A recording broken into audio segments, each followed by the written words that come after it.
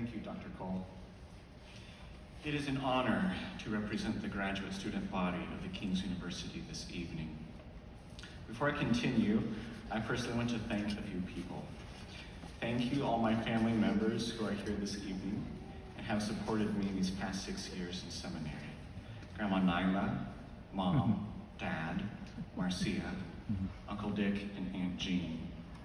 I do not take your unwavering love and support for granted. My deepest gratitude goes to my academic advisor, Dr. Hunsinger, and the Dean of the Jack W. Hayford School of Graduate Studies, Dr. Cole, for their wisdom and godly counsel. And I am immensely grateful to all the people at the King's University who have deeply impacted me. Professor Lane, Julie Cole, Dr. Luter, Dr. Call, among too many others to name. And on behalf of the graduate school student body, thank you, Pastor Jack, for your legacy, which has now blossomed into an ATS accreditation for the King's Seminary. It has been, yes.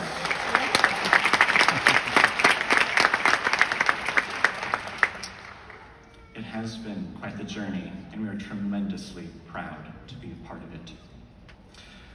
Well, fellow classmates, we made it. After all those late nights studying and grueling exams, we have come to the finish line. When I asked the Lord what he wanted me to share with you this evening, he was direct. No question about it. He gave me a prophetic declaration for us, our family members and friends.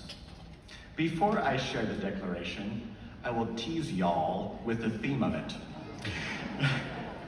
We will worship our way through life. Indeed, we will adore the Father and glorify Jesus and worship the Holy Spirit as we make our way through life. For that is the means through which our highest attainment is achieved. Pastor Jack wrote about this in his book, Majesty.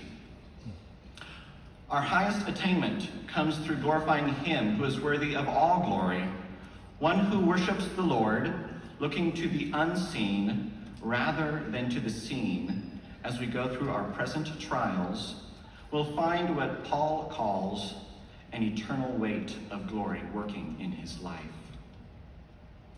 Fellow classmates, we have experienced some trials recently, and God has worked some weights of glory inside us as well.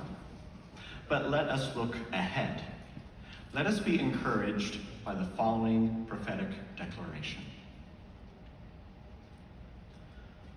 When our world is fraught with a pandemic, we will worship our way through life. When there are riots in the streets and moments of great social unrest, we will worship our way through life. When there are turbulent political elections, we will worship our way through life. Through whatever the enemy throws our way, we will worship our way through life. Yeah. And when we struggle with our final dying breaths, we will worship our way to the other side of life, where we will worship God forever and ever. That is our prophetic declaration.